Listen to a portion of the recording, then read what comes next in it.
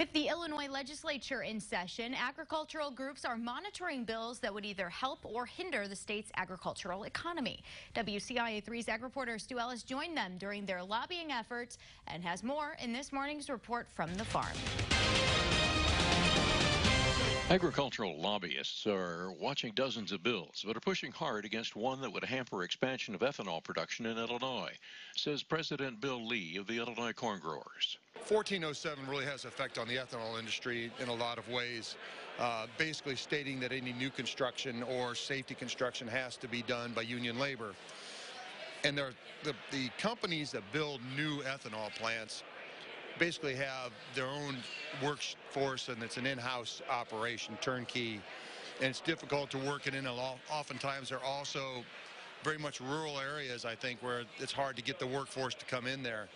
Um, the idea is it could cost uh, an additional 25 to 30 million dollars to development of a new ethanol plant. And Illinois Farm Bureau President Rich Guebert urged the farm organization leaders to request a no vote on the legislation.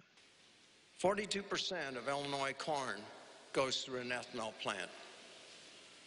20% of the distiller's grains are fed to livestock here in the state of Illinois. It provides an opportunity, another avenue for us to market the goods that we so uh, well raise here in this state, and that's corn or soybeans that are made into biodiesel.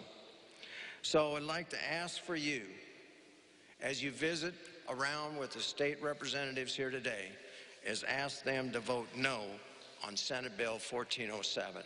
The legislation has passed the Senate. It's ready for a vote in the House. That's our report from the farm. I'm Stu Ellis with WCIA 3, your local news leader.